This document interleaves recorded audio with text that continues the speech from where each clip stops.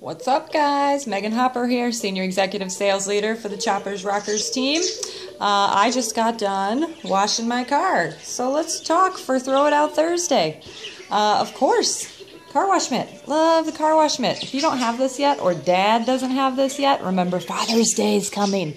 You need to get him this car wash mitt. He can wash his car or motorcycle or you know whatever he rides around town in. Maybe it's a bicycle. I don't know. You can still use our car wash mitt with just water. No soap needed. What the heck? That's so easy. Get the thing wet. Start wiping everything down.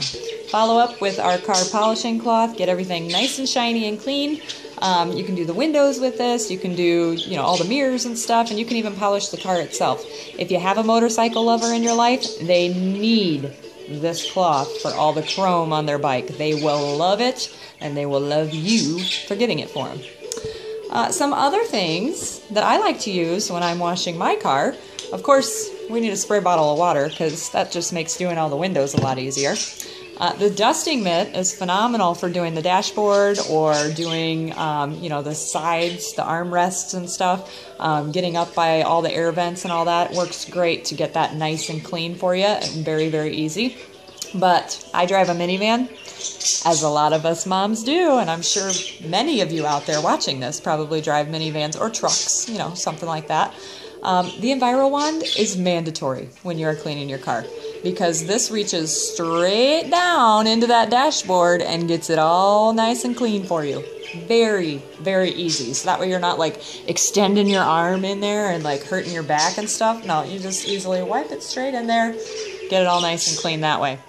Last thing that you have to have when you're washing your car, or when you're cleaning your car, I should say, you must have the rubber brush, especially if you have children.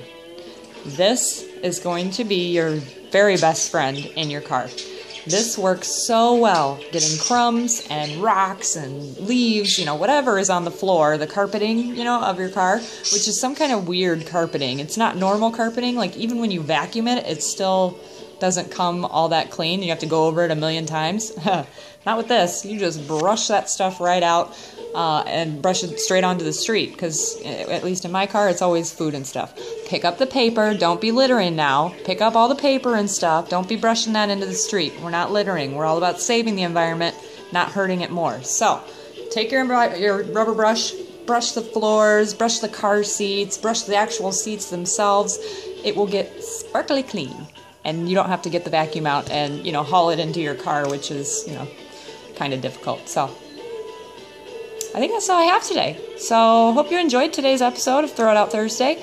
And uh, I guess I'll talk to you next week. Let me know if you have any questions. And don't forget, Father's Day is coming. These are great Father's Day gifts. Talk to you later.